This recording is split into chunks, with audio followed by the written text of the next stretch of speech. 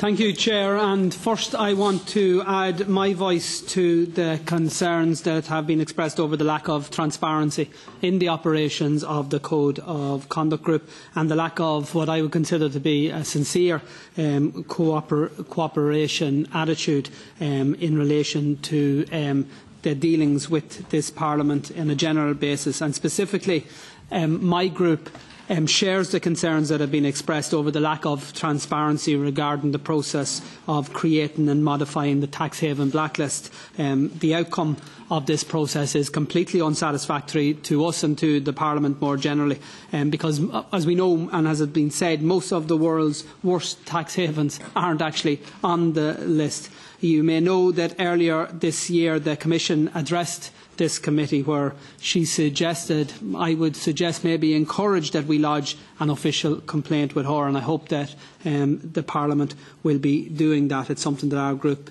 fully supports. I have two specific questions relating to the modified nexus regime of patent boxes post-Brexit, specifically, and also in relation to the first phase of the blacklisting process. If we look back to how the OECD's modified nexus approach on patent boxes was initially agreed, it was largely a political compromise between Britain and Germany. Um, so given the role of Britain in pushing for even less restrictions on patent boxes, has there been any discussion on, of a change in the EU's approach to patent boxes in a post-Brexit scenario? Has therefore been, example, any discussion among the Code of Conduct group about developing guidelines on patent boxes that are stricter than the OECD's or of shutting down patent boxes altogether? Um, and if this hasn't been discussed, do you consider it might be appropriate to start discussing that sometime in the near future? In relation to the blacklisting process, many of us are intrigued as to what exactly the criteria used to remove 20 countries from the list of um, 92 at the beginning of the listing um, processes. Um, among those are countries that were assessed for their risk and their level of economic links with the EU, such as the US, of course, um, but none of the publicly available reports of the Code of Conduct Group describe that criteria that actually um, took those 20 um, countries off the blacklist. So I was wondering if you would like to use the opportunity afforded to you today to actually outline the process and the criteria that was used in that instance. Thank you, Chair.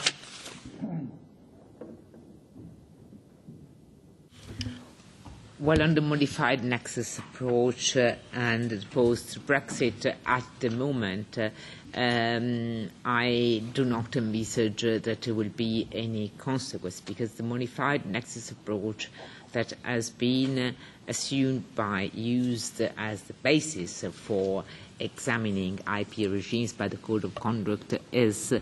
uh, the approach that was already agreed at the international level. And we have actually assessing, we have assessed the uh, patent box regimes act enacted by EU member states applying that regime. So once the UK will no longer be part of the EU still, you know, if uh, it, the UK will change its patent box regime um, to make it more aggressive and no longer compliant with the modified nexus approach, uh, we will not, we, you know, we will, uh, we will um, look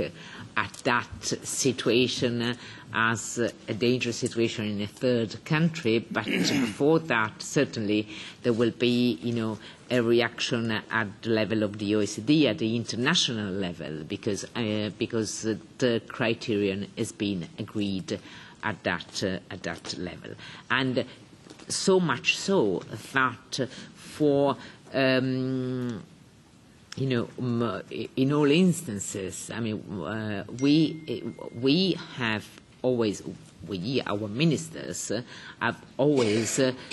pointed out uh, at uh, the importance of the coherence and the consistency between the exercise carried out at the EU level and the parallel work uh, carried out uh, at the international level.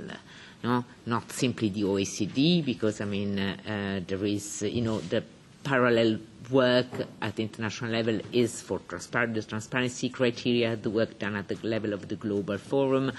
For the Forum of Harmful Tax Practice, the level is that of the inclusive framework, uh, and the same for you know, the BEPS, uh, the implementation of the BEPS minimum standard. So uh, it's always been the case that uh, we have, uh, we, our ministers have always believed in the fact that the European level, the, the, the, there had to be a synergy you know, between the European level and the international level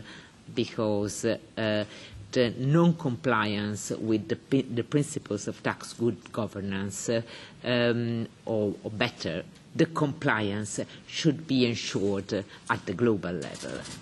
Uh, so basically, I mean, I don't think there is a point in that there is a relation between. I don't see a relationship. Between, I wouldn't be concerned, you know, with uh, what can happen after Brexit uh, with uh, the UK patent box regime. Mm, for the the comfort letter, the comfort letters have been sent to all the third countries and jurisdictions that have been screened. According to the criteria of uh, EU listing exercise and following the procedure that is, that is uh, uh, detailed in the documents that are, are published in the website. So, I mean, we have published on the website the procedure that uh, our experts, assisted by the Commission Service, have used for the screening exercise. I mean, um,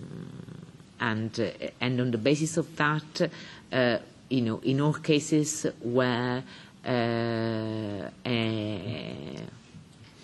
where